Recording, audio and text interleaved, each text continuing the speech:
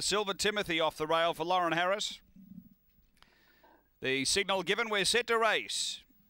Race six here, Strathalbyn, third heat of the Cup. We're ready. They're on their way. Oh, bombing the start. Black Antigo missed it by uh, four or five lengths. Good speed. Gangala Fury burning up and around them. Gangala Fury found the lead and skipped away. Railing hard. Silver Timothy to within a length and a half now. A couple away. Winburn Jerry. Next is Spring Bloom at about four away. Captain McLaren to Steedy Rocket and Black Antigo off the back. Front runner here is Silver Timothy. Got away a length and a half on Winburn Jerry. Spring Bloom's winding up. Up to the turn. Winburn Jerry takes the lead. Silver Timothy lifting again. Winburn Jerry gets clear. Spring Bloom late, but Winburn Jerry beats Spring Bloom. Third, Silver Timothy, Black Antico. Boy, that was a run.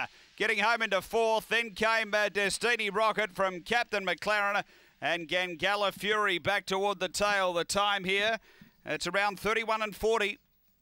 Winburn Jerry getting the prize for uh, Ryan Tugwell. Uh, she began okay, posied up, and she was really pouring the pressure on coming to the turn and has been too good. It's a good training performance. She hasn't raced since April. Uh, she was a, uh, a quali uh, performer here before having this.